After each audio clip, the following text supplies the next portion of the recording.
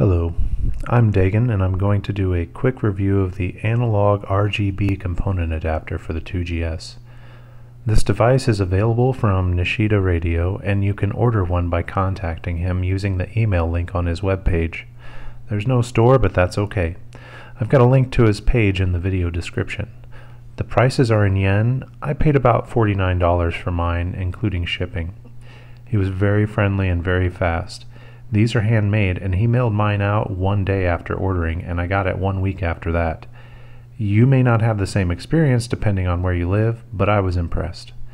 The packing was simple but effective, completely effective, uh, but this isn't an unboxing video, so let's move on. The only thing in the box is the device. No instructions, but there are instructions on the site. The component plugs are helpfully labeled with color-coded stickers and it also has trimmers to adjust the luminance and color, though I haven't adjusted them for this review. Another nice feature is that he included a base that is offset with standoffs, so even if there's no case, it should be fine sitting on your desktop. Connecting the unit was easy. You plug it into the RGB monitor port on your IIgs, and I found the plug to not be as tight as an Apple video cable, but it worked fine. I didn't use any special component cable to connect it to my TV, I just used standard RCA audio video cable. Now to talk about my TV.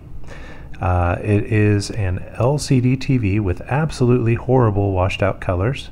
I got it very cheap because it supports a lot of inputs like component and you get what you pay for but I've used it with PCs and with my Wii, mostly to watch Netflix, and I can tell you that the colors you will see here are not due to the device, but my horrid TV. Still, I think you will be impressed. Here's a quick look side by side with the adapter and my TV on the left and an authentic RGB monitor on the right. Like I said, due to the TV and my camera, the colors are a bit washed out, but the device itself seems to be putting out an incredibly good signal. So I'm just going to show some video of the different Apple II video modes and give a little commentary, but mostly let the images speak for themselves. First, looking at some low-res colors, they looked pretty good. I will say it seemed like uh, a little bit of the orange and gray here, a bit squashed, but uh, that could be partly due to my monitor. Overall, I, I would say it's it's pretty good and certainly very crisp. Now, looking at uh, high res, Apple II high res, not IIgs, IIe, IIc, whatever. Uh, I think the colors look outstanding, especially for this TV. I think these colors look great. The orange and blue and green, uh, in my mind, looked exactly as they should. And I apologize for my, my bad camera work and, and blurriness here. It's really more my phone camera than the display, but look at that. Just beautiful. Get get yourself one of these. You won't regret it. Now let's look at 640 by 200 mode on the actual GS monitor when we boot into System 6 versus the monitor. And again, I think it's completely passable and uh, better than most other options out there. One more look at 640 by 200 on the desktop and how about some games?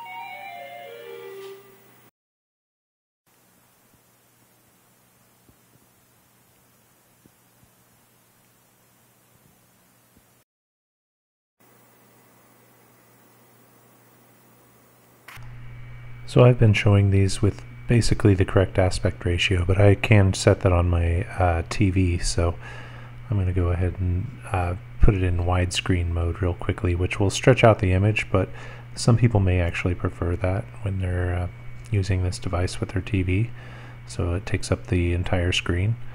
And I actually think it doesn't look too bad here.